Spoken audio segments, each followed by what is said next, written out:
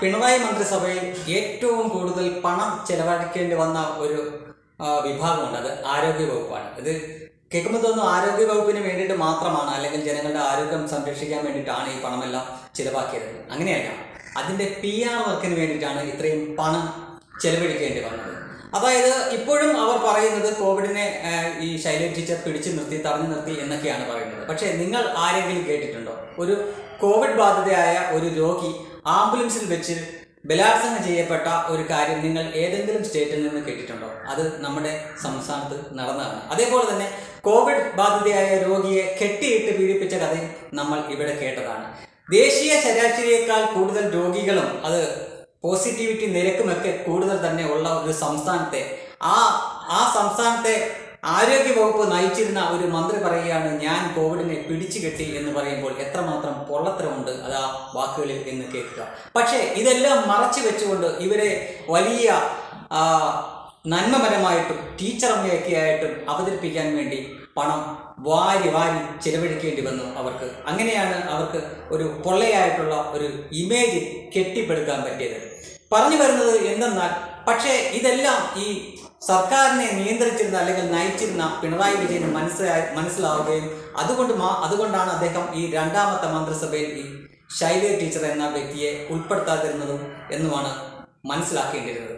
എന്തായാലും ടീച്ചറമ്മ മാറി പകരം മറ്റൊരു ചേച്ചിയമ്മയോ അല്ലെങ്കിൽ ഒരു റിപ്പോർട്ടർ അമ്മയോ കൂടി കുടിയിരുത്താനുള്ള നീക്കങ്ങളൊക്കെ അണിയറയിൽ ഇതിനകം തന്നെ തുടങ്ങിക്കഴിഞ്ഞു എന്നാണ് മനസ്സിലാക്കേണ്ടത്.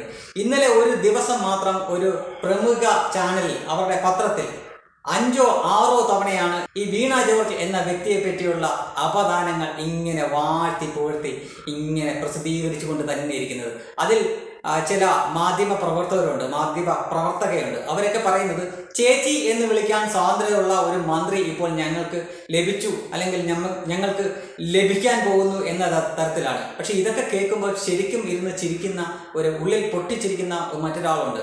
അത് മുഖ്യമന്ത്രിയെ കയറി മാമാന്നോ അല്ലെങ്കിൽ അച്ചാന്നോ അല്ലെങ്കിൽ ബാപ്പച്ചി എന്നൊക്കെ വിളിക്കാൻ സ്വാതന്ത്ര്യവും അവകാശവുമുള്ള നമ്മുടെ റിയാസ് മോനാണ് ശരിക്കും ഉള്ളിൽ ഊറി ചിരിക്കുന്ന ഒരു വ്യക്തി. അത്രയും സ്വാതന്ത്ര്യമുള്ള ഒരു വ്യക്തി മന്ത്രിസഭയിൽ ഉള്ളപ്പോഴാണ് ഒരു മന്ത്രിയെ കയറി ചേച്ചി എന്നൊക്കെ വിളിക്കാൻ സ്വാതന്ത്ര്യമുണ്ട് എന്നൊക്കെ പറഞ്ഞുകൊണ്ട് ഇങ്ങനെ പി ആർ തള്ളുക ഇങ്ങനെ തള്ളി മറിച്ചുകൊണ്ടിരിക്കുന്നത്. എന്തായാലും ഈ ആരോഗ്യരംഗം ഇന്ത്യയിലെ മാത്രമല്ല ലോകമൊട്ടാകെയുള്ള ആരോഗ്യ രംഗങ്ങൾ ഇങ്ങനെ വലിയ വെല്ലുവിളി നേരിട്ടുകൊണ്ടിരിക്കുന്ന ഈ സന്ദർഭത്തിൽ തന്നെയാണ് വീണ ജോർജ് എന്ന ആ, കമ്മ്യൂണിസ്റ്റുകാരി അല്ലാത്ത അവരൊരിക്കലും കമ്മ്യൂണിസ്റ്റുകാരി ആയിരുന്നില്ല കമ്മ്യൂണിസ്റ്റ് അവർ ആദ്യമായിട്ട് മത്സരിക്കുമ്പോൾ പോലും അവർ കമ്മ്യൂണിസ്റ്റുകാരി ആയിരുന്നില്ല കമ്മ്യൂണിസ്റ്റ് അംഗത്വം പോലും അവർക്കില്ലായിരുന്നു. എന്തായാലും ആദ്യം എം എൽ എ ആയി വീണ്ടും അവർ വീണ്ടും എം എൽ എ ആയി ഇപ്പോൾ അവർ മന്ത്രിയാവാൻ പോകുന്നു. ആ മന്ത്രിക്ക് മുന്നിലുള്ളത് വലിയ വെല്ലുവിളികളാണ്. ആ വെല്ലുവിളികളും അവരുടെ ആ കഴിവോ അല്ലെങ്കിൽ അവർക്ക് എന്തെങ്കിലും കഴിവുകേടുകളൊക്കെ പറ്റുവാണെങ്കിൽ അതിനെയൊക്കെ ഇപ്പോഴേ മേക്കപ്പ് ചെയ്യാൻ വേണ്ടിയിട്ടാണ് ഈ പി ആർ തള്ളുകാർ ഇപ്പോഴേ പണി തുടങ്ങിയിരിക്കുന്നത്. എന്തായാലും ഇടതുപക്ഷക്കാർ തന്നെ അവസാനം സമ്മതിച്ചു.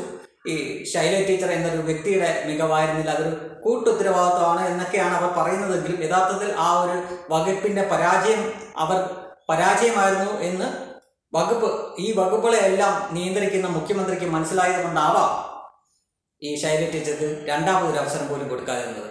മുഖ്യമന്ത്രി പിണറായി വിജയൻ നിങ്ങൾ കരുതുന്ന പോലെ അല്ലെങ്കിൽ നമ്മൾ കരുതുന്ന പോലെ രണ്ടാമത്തെ തവണയല്ല മന്ത്രിയാവുന്നത്. ശരിക്കും പറഞ്ഞാൽ അദ്ദേഹം മൂന്നാമത്തെ തവണയാണ് മന്ത്രിയാവുന്നത്. അദ്ദേഹം ഈ മുഖ്യമന്ത്രി ആവുന്നതിന് മുമ്പ് പണ്ടൊരിക്കൽ അദ്ദേഹം വൈദ്യുത മന്ത്രി ആയിരുന്നതാണ്. ആ വൈദ്യുത മന്ത്രി ആയ കുറച്ച് നാൾ കഴിഞ്ഞപ്പോഴാണ് അവരുടെ ജനറൽ സെക്രട്ടറി മരണപ്പെടുകയും പകരം ജനറൽ അതിലും ഉയർന്ന അന്നൊക്കെ എന്ന് പറഞ്ഞാൽ പാർട്ടി സെക്രട്ടറിയാണ് ഈ കമ്മ്യൂണിസ്റ്റ് പാർട്ടിയെ സംബന്ധിച്ചോളം പാർട്ടി സെക്രട്ടറിയാണ് ഒന്നാണ്.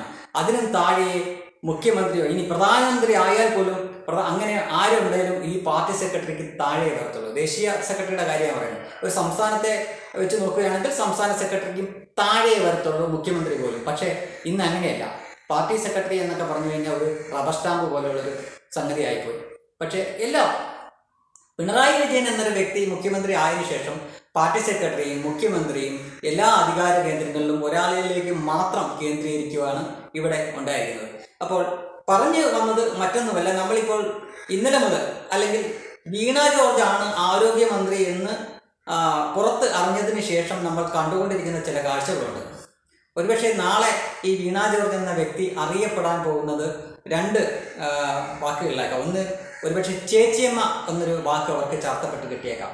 മറ്റൊന്നവർ ഒരു മാധ്യമ പ്രവർത്തകയായിരുന്നതിനാൽ ഒരുപക്ഷെ റിപ്പോർട്ടർ അമ്മ എന്നൊരു പേര് അവർക്ക് ചാർത്തപ്പെട്ടേക്കാം. എന്തായാലും ഈ പാണന്മാർക്ക് ഇനി ഓവർ ഡ്യൂട്ടി ആണ് അല്ലെ ഓവർ ടൈം പണിയെടുക്കേണ്ടി വരും എന്ന കാര്യത്തിൽ യാതൊരു സംശയമില്ല എന്തായാലും പുതിയ ആരോഗ്യമന്ത്രിക്ക് എല്ലാവിധ ഭാവങ്ങളും ഭാവങ്ങളും തരുന്നു. വെബ് ഡെസ്ക് തത്വമൈ ന്യൂസ്